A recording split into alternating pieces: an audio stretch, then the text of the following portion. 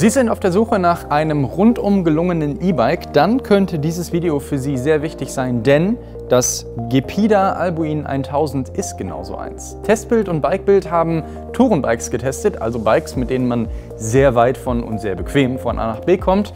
Und dieses Bike stellen wir in diesem Video jetzt vor.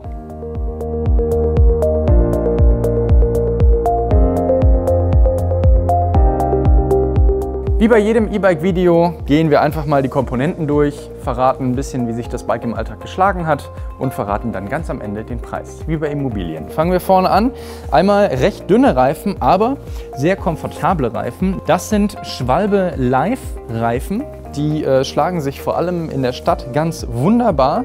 Das Ganze ist sogar vorne noch gefedert. Das hat nicht jedes Tourenbike und ich persönlich bin ein großer Freund von Federung. Von daher sehr schön, dass wir hier eine Federung haben. Licht gibt es natürlich auch noch dazu und hier vorne eine Scheibenbremse. Die sind bei diesem Bike von Shimano. Das sind Deore Bremsen. Die sind hydraulisch, sprich das Ding steht, wenn ich die Bremse ziehe. Sogar am Berg überhaupt kein Problem. Machen wir am Lenker weiter.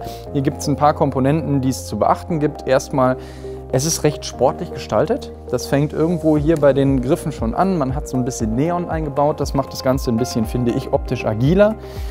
Es gibt hier noch eine Shimano Deore Schaltung. Zehn Gänge sind das, lässt sich sehr leichtgängig und sauber durchschalten. Das ist auch sehr schön, ist auch gut erreichbar alles.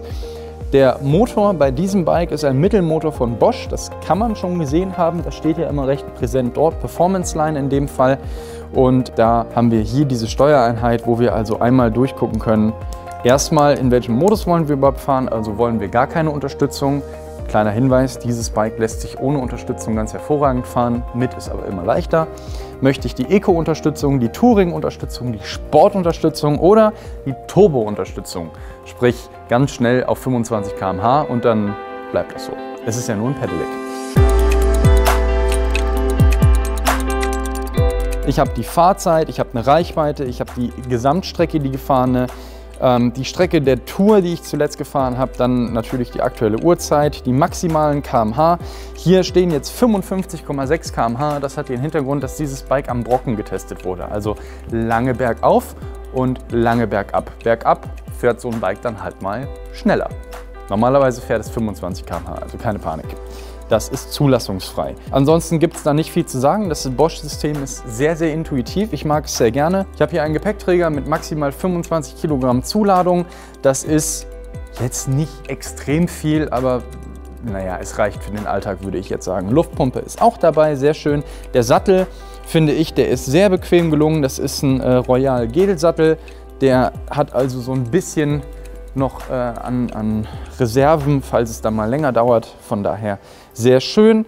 Der Akku ist nicht ganz so elegant verbaut, wie man es vielleicht hätte lösen können. Der sitzt wie bei Bosch-Motoren üblich halt direkt hier im Rahmen. Das ist okay, aber jetzt nicht besonders also ist jetzt kein optischer Leckerbissen, ist halt so. Das Schöne an dem Bosch-System ist, dass die Akkus austauschbar sind. Also geliefert wird dieses äh, Gepida mit einem 400 Wattstunden Akku. Wenn man mehr Power braucht für die Bosch-Akkus, ist es überhaupt kein Problem, da irgendwie Ersatz zu kriegen. Jetzt in dem Fall zum Beispiel haben wir einfach einen von Kettler genommen, das Powerpack 500. Da ist schon wieder mehr Saft drin und damit komme ich dann auch 90 Kilometer weit. Man muss bei dem Preis, den ich nachher noch nenne, natürlich ein paar Abstriche machen. Dementsprechend ist das Powerpack 400 völlig okay. Will ich mehr, kaufe ich einfach mehr. Zu dem Motor muss ich nicht viel sagen. Der Bosch-Motor ist, glaube ich, der am häufigsten verbaute E-Bike-Motor, den ich so im Alltag sehe. Es ist ein sehr gleichmäßig fahrender Mittelmotor, der ähm, erlaubt anders als Hinterradmotoren, von denen ich nicht der größte Fan bin, erlaubt er einen sehr sanften Übergang zwischen Unterstützung und äh, Eigenkraft. Ich finde, Mittelmotoren sehr viel entspannter zu fahren. Von daher schöne Nummer mit dem Bosch-Motor. Ich mag ihn sehr gerne, ich kann es nur immer wieder betonen. Viel mehr gibt es zu diesem Bike gar nicht zu sagen. Es ist ein rundum gelungenes E-Bike, wie ich finde.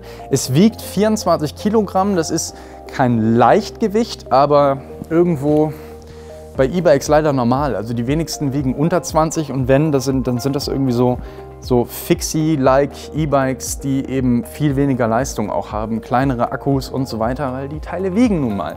Und ähm, bei diesem E-Bike ist das nicht anders. 24 Kilo kann man aber trotzdem noch irgendwie durch die Gegend schieben, zumal das Ding ja auch mit dem Motor hilft. Von daher alles gut. Preislich, wo liegen wir da, ist eine ganz wichtige Angabe. Ich habe am Anfang des Videos gesagt, wenn man ein wirklich rundum gelungenes und auch preislich äh, vernünftiges E-Bike sucht, dann ist dieses Gepida eine wunderbare Alternative. Das ist auch so, denn der Preis liegt mit Akku bei 2500 Euro. Das ist für ein qualitativ hochwertiges E-Bike ein völlig akzeptabler Preis eigentlich, zumal wir da von der UVP reden. Also wer ein bisschen Verhandlungsgeschick mitbringt, der wird da eventuell noch den ein oder anderen Euro wieder mit nach Hause nehmen können. Und von daher unsere Empfehlung, dieses Bike im Test hat einen Hut bekommen und das auch völlig zu Recht. Es ist einfach ein sehr, sehr rundes Gesamtpaket.